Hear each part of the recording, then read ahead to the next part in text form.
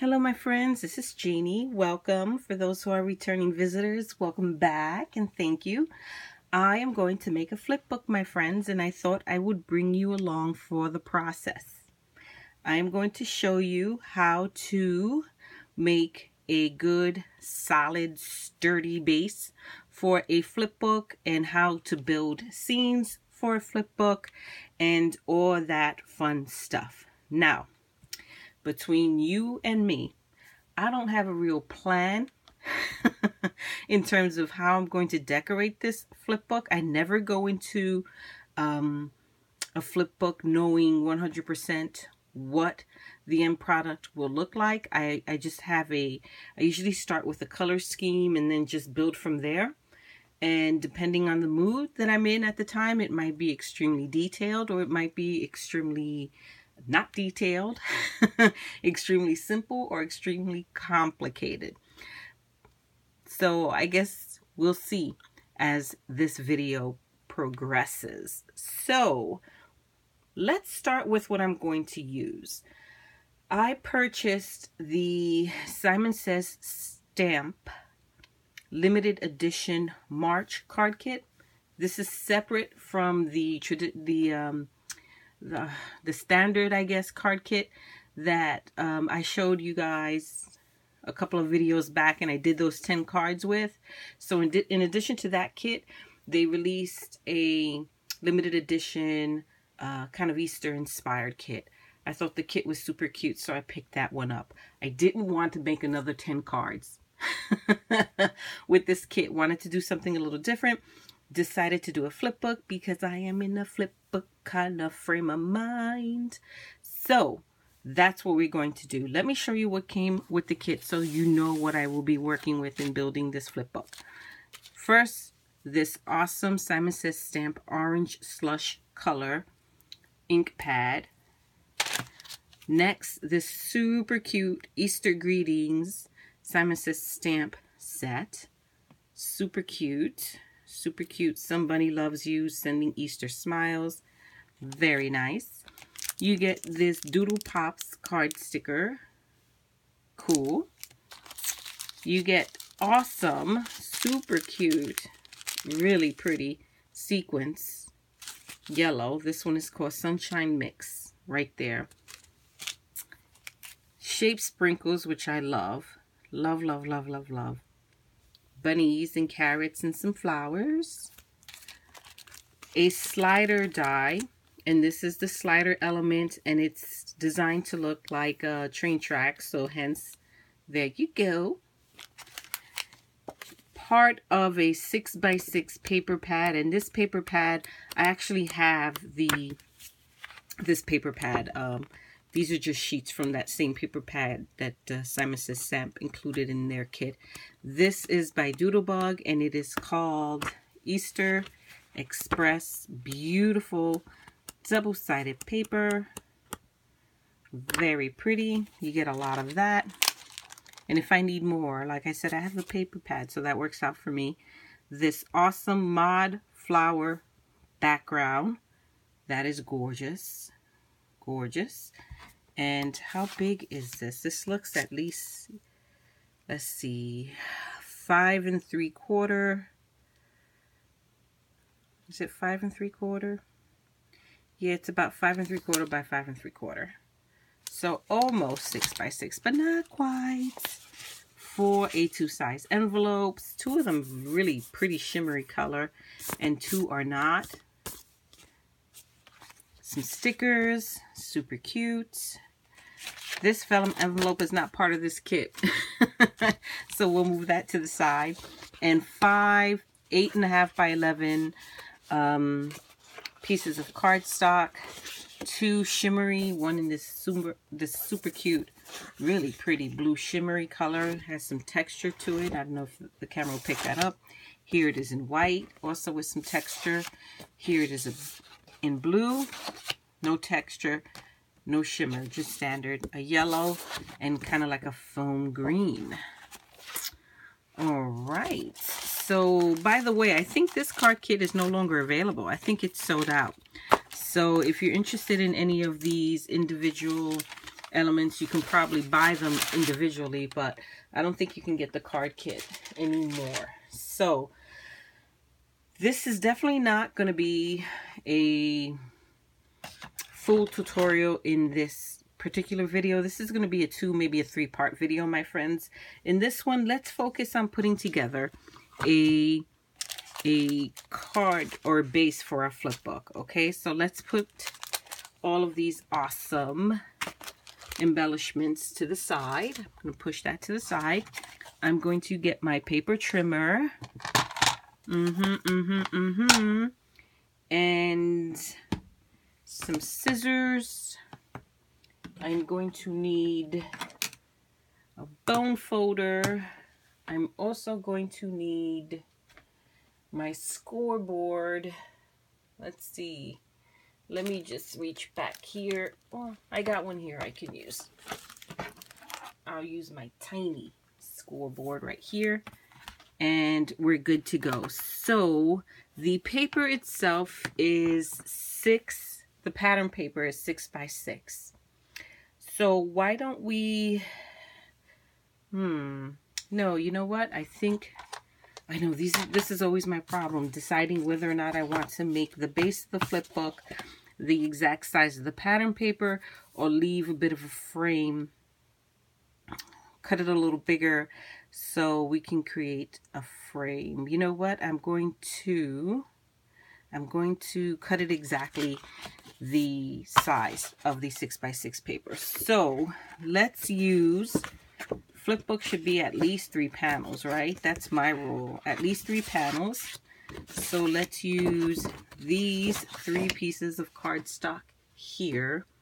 And then I'll use, what I'll do is I'll use maybe some of the pattern paper to create the hinges. And I'll show you what I'm talking about.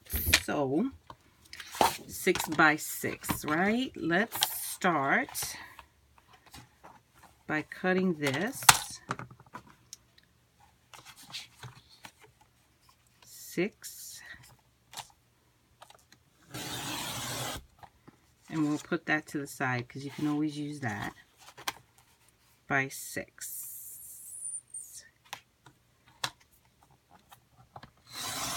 Yeah, we'll use the pattern paper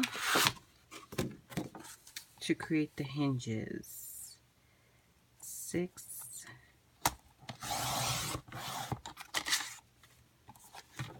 By six. Now, how you build the base for your flip book, at least for my flip book, depends on a couple of things. It depends on whether or not the paper I'm using is double or single-sided. If it's if I'm using a pattern paper and it is single-sided then my hinge is going to be wedged between two sheets of paper. If I'm using a double-sided pattern or a solid color cardstock like what I'm using here then I only need one panel for each page and I'll try to create um, a decorative hinge for each page and I'll show you what I mean. So here are our three six by six and then this is really pretty paper and I would like to try to use it or as much of it as possible. So I think what I'll do um, in addition to the three panels is create a kind of pull down and a pull down here. So I'm probably way out of frame, but I think this is going to be the layout right here for this flip book, right here. There it is. Hopefully it's all in frame, right? Let's see. There we go. That's going to be the layout. So these two panels will fold in. This one will fold this way. This one will fold this way.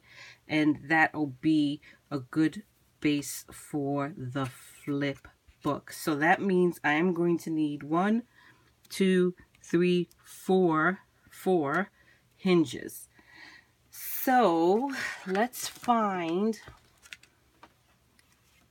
let me get one of these pretty, pretty, pretty, pretty, pretty. Let's see, what can we use here?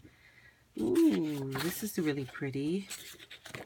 What's on the other side? Let's use this.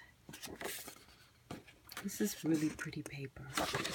I love that. So let me try carefully to remove this. Oh my gosh. All right, and we'll use this. Okay, so um, for those who are not sure what I mean when I say a hinge, let me uh, simply show you. Sometimes the best thing to do is just show. So my pages are six by six. So I'm going to cut my hinges to be as tall as the paper. So my hinge is going to be, obviously, right, six inches tall. And in terms of width, I like to cut it an inch, score it at the half inch mark, for, fold it in half and score it. Reinforce, not score it, fold it and reinforce the fold. I'll show you what I mean. So here is our paper. I'm going to cut four strips of this at an inch. So here's one,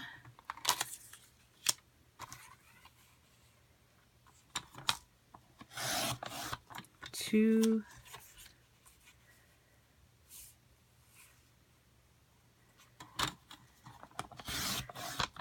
three,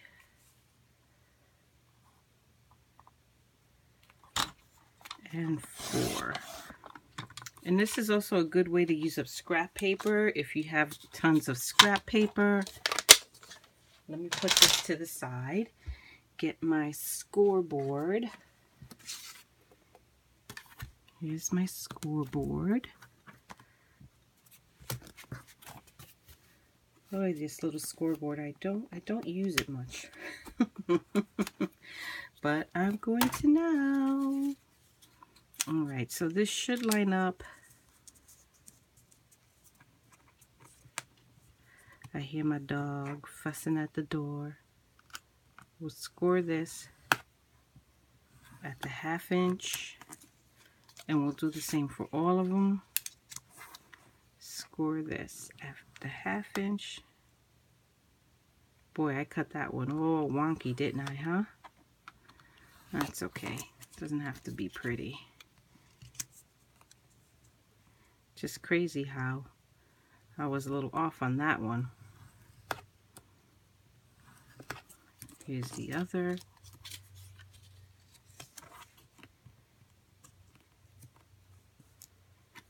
And Then we have that one. So let's put this to the side.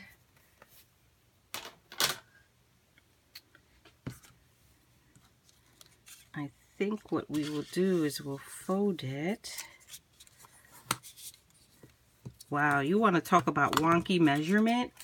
How wonky is that? I don't like that at all. I might have to cut another piece on that one. Wow. This one came out really, really good. Oh my gosh. What type of crafter are you? I try not to obsess over little details, especially details that at the end of the day you probably won't see, but something like this drives me bananas. So I'm going to be cutting that piece again because um, even though no one else would probably notice. I will notice and it's going to make me nuts. So let's try that piece again. All right. I can't have that. No way. Goodness. And this is why I am such a super, super slow crafter. I like to take my time with details. There we go. I feel better about that. Yay. There we go. Nice. Woo! And then let's see here. I don't know what happened here. It's, you know what happened here is I just scored it at the wrong line. That's what happened there. So I'm just going to score this one again. No biggie. No biggie. Ah, and there we go. Better, better, better, better, better, better. So those are the four hinges we'll use. So again, because my panel is six, each of my panels is six inches tall or wide, depending on which panel you're referring to, my hinge is going to be six inches. And then what I will do, once I cut those, I'm going to take a pair of scissors, scissors, and just create, just cut this a little bit at the tip so we can get rid of some of that bulk at the edges and it will allow the pages to fold over without too much interference. So I'm just kind of eyeballing, cutting off a little bit here. Not too much, just a little. Okay. Next, we are going to use some tape we're going to put tape on the inside of these hinges that I just created. And I would recommend, I mean, you can, you use whatever tape you have, but whatever it is you use, I would recommend that it is something that is super, super strong the last thing you want to happen is you put forth all this effort in your book and then your book starts to fall apart because you, your adhesive is not strong enough. That would suck. So, I could probably, yeah, cut some of this and use it on the other side. I had some thinner adhesive here, but uh, you know what it was? I used it all when I made my last flip book. Let me see if I can find something a little easier to use. Let's try this. This might be easier. I have all types of adhesive here. This might be the way to go. Here, let's try score tape. Perfect. I'm going to use some score tape. There we go. And I'm going to put some of this score tape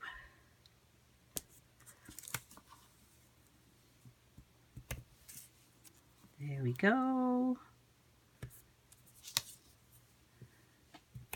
There we go.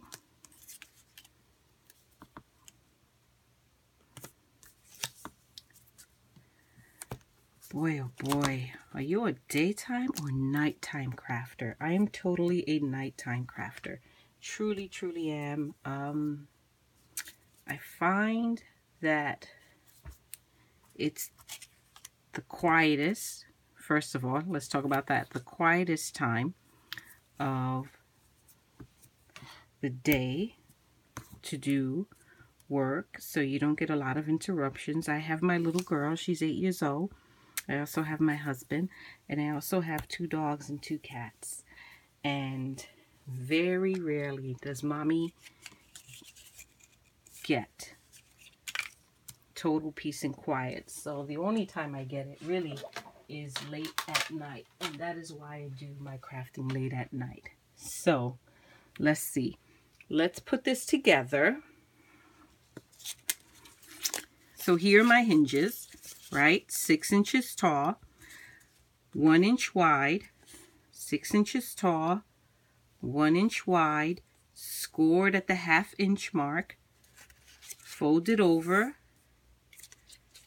and then cut some of the tips, each of the tips, the tips at each end at an angle to uh, eliminate some of the bulk. Look, I forgot to put some tape here. Silly me. Let's put some tape there. Then you're going to put some adhesive, some good adhesive. There we go. Okay, now let's put this together. So,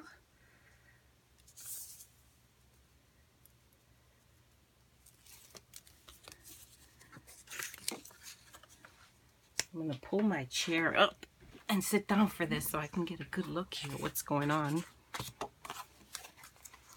Okay, so we're going to line this up. And you don't want to put it all the way up to the edge or to the score mark because it'll interfere somewhat with how your pages fold in. And we're going to add one of these hinges to each side of the center panel and build from there. Okay, so we have established that I am a nighttime crafter. I am a super slow crafter and I'm a, a very particular crafter in the sense that um, I don't necessarily need things to be perfect, but they can't be too wonky because I can't let it go. I just can't let it go. I can't let it go. Okay, so that's three sides. Let's do one more. I can't let it go. So, let's see what else about me. Um, y'all know I like to shop. So I am blessed in that I have a fully stocked craft room. Um, I want for nothing, seriously. Um, if I can't get it right away, then I save up for it. But ultimately, I'll get it. Um, I don't know if that's a good thing or a bad thing. I think sometimes it's a bad thing because you have a lot of things in your craft room and it can be a little overwhelming at times because you can't, you don't focus. It's hard to focus because your mind is running in a billion different directions in terms of what to do, what's going to be my next project. But um, it's also a good thing, at least in my mind, because it definitely lends for a situation where you're totally surrounded by a lot of beautiful things and you can be inspired. So now I'm going to start attaching the other panels that we cut. And again, I don't want to go um, right on the score line because then it'll be difficult, difficult. Let's make sure that's a short side to close the page. Here's a six by six. There we go. This is another one of these short panels. We'll put it on this side. There we go. And then this is another six by six panel. Put that on that side. Okay, so I think we just completed our base, my friends. So let me show you how it will work. This panel will fold this way. This will fold this way. And we might do something with this. We might do something with this. Maybe trim them so when they fold together, they'll create one panel or maybe create some kind of design in the center. We'll see how that goes, but we have options. Then this folds this way and this folds this way. So what I will do now is go through with my bone folder and just kind of reinforce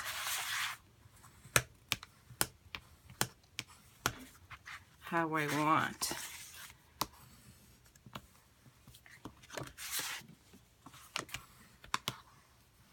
Okay, there we go. So I think this turned out super cute so far. Center panel. This one goes up. This one goes down. Over, over. This will be the front. Or depending on what colors we use, this might be the front. But beautiful both inside and out. Look at this beautiful frame that's created here.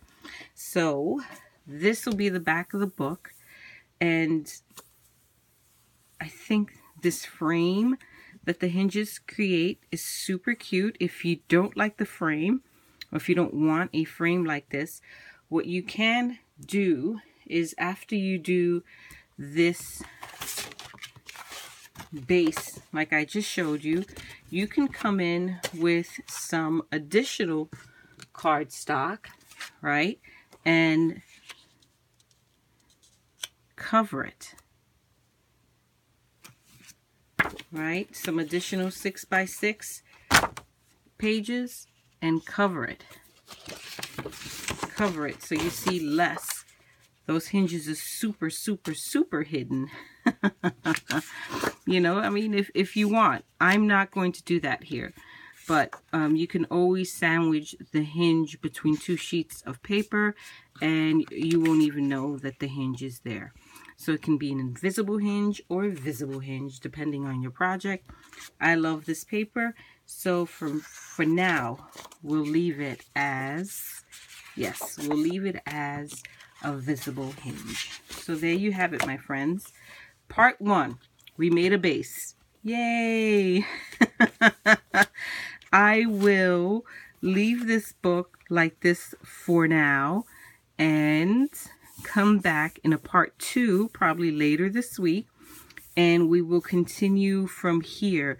I just had a thought. Maybe, I don't know if you saw the last video I did with the flip book. Here's that flip book that I made. And this is what I did with that center page. I cut them so that they met and created one page and it turned out really, really, really, really cute. I did a straight cut across. I'm thinking maybe this time we can maybe create some kind of egg element in the center there, right? And cut this so that when it pulls apart, it looks like the egg is cracking. Hmm. so maybe like a zigzag crack cut Is that an official term? It might be. I don't know. Maybe, maybe. Something to think about. But there you have it, my friend. This is a solid base to build on. And I can't wait to start building. Thank you so, so much for taking the time to sit with me. I hope you'll come back and continue this ride. Until next time, bye-bye.